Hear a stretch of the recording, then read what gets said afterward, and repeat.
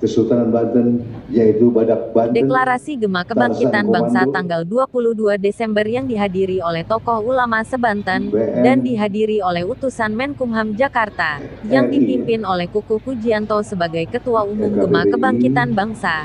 Dalam acara tersebut dimeriah tari-tarian dan Debus Banten juga ikut memeriahkan yang dihadiri oleh semua ormas yang ada di Banten. Marilah kita panjatkan puji syukur kehadiran Allah Subhanahu wa taala yang mana hingga siang ini kita masih diberikan nikmat sehat sehingga bisa berkumpul dalam rangka sekaligus merayakan acara gema budaya kebangsaan yang tak lain adalah kita bersatu karena budaya. Semoga niat nawaitu kita hari ini bersatu berkumpul ini menciptakan suasana ketentraman di negeri ini karena budaya. Seluruhnya karena budaya. Indonesia kalau tidak ada budayanya hilang jati dirinya. Oleh karena itu, mari junjung tinggi akhlak akidah kita, budaya kita, barulah kita mencapai kesejahteraan. Ini harus kita lakukan demi terciptanya kerukunan, kedamaian di negeri ini. Kalau sudah rukun damai, tentu kita hidup nyaman, tentram, tidak ada saling menghujat, gontok-gontokan. Inilah harus kita lakukan. Ajak semua saudara-saudara kita, ajak lingkungan kita, ajak tetangga-tetangga tetangga kita. Mari kita bersatu, tunjukkan rasa kasih sayang kita pada sesama. Itu harus ditunjukkan khususnya di Banten ini. Banten dahulu terkenal di zamannya Kesultanan dahulu, vihara dan masjid berdampingan. Gereja dan masjid pun berdampingan. Kenapa sekarang ini banyak rumor isu yang terjadi saling menghujat antar agama harusnya tidak boleh terjadi. Mari kita satukan visi misi kita ciptakan kedamaian. Semoga dengan budaya ini yang kita gemakan hari ini menjadi rasa persatuan kita semua. Mereka! Allahu Akbar!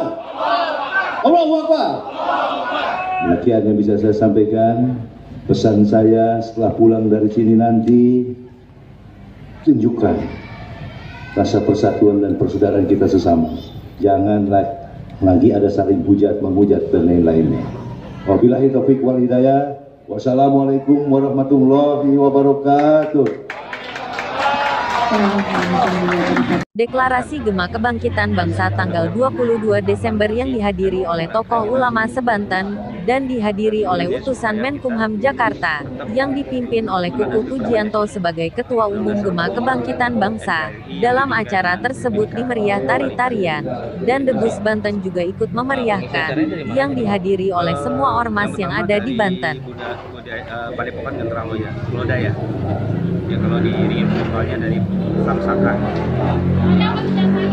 Untuk untuk yang hadir ya, yang hadir ini dari Kesultanan Banten, yaitu Sultan Banten ke-18 yang bernama Ratu Bagus Bambang Syamsuni Suri Atmaja MPA yang dengan gelar uh, Syarif Muhammad dan dihadiri pula uh, perwakilan dari Metropolitan Staff ya, staffnya Bapak siapa sih lupa. Nanti Muslim terus uh, di, dihadiri juga beberapa elemen. Uh, walaupun sih sedang sesuai dengan kes bangkol ya, yang ada. Termasuk pada Banten BPKB Pemuda Pancasila, FKPPI, PPKRI, Bapak Banten, terus padepokan-padepokan yang ada di, di apa namanya di kabupaten lah, kota. Walaupun pada Banten dan di provinsi juga ada hadir.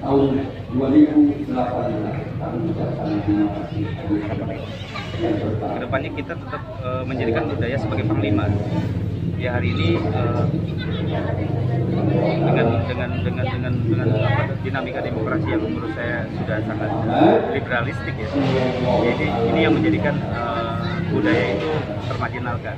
Karena bicara budaya bukan seremonial.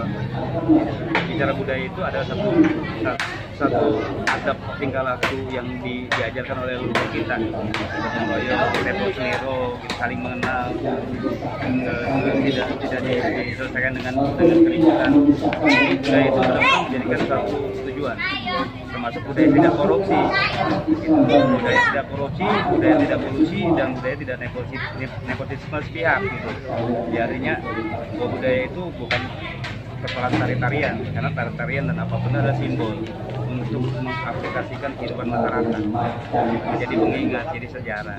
Karena kata orang tua bilang budaya mantap Tadi kalau dari pemerintah kabupaten atau pemerintah provinsi ada yang datang.